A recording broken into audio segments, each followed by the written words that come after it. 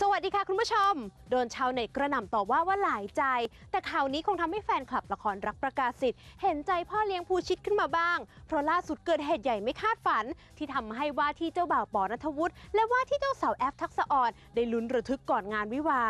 ตายแล้ว พี่เอพรทิพย์และคุณสงกรานต์ทำใจดีๆไว้ก่อนนะคะ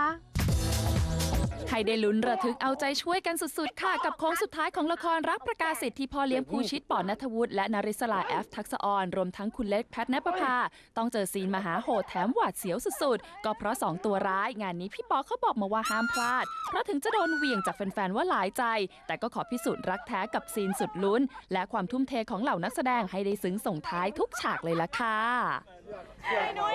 ห้ามพลาดเลยนะครับ ผมรู้ครับว่าคุณเกลียดพ่อเลี้ยง ขอบคุณครับขอบคุณก่อน ขอบคุณที่อินกับละครที่เราเล่นเพราะว่าอาจจะมีผิดบ้างมีถูกบ้าง ให้อภัยพ่อเลี้ยงเถอะนะครับ ผมเชื่อว่า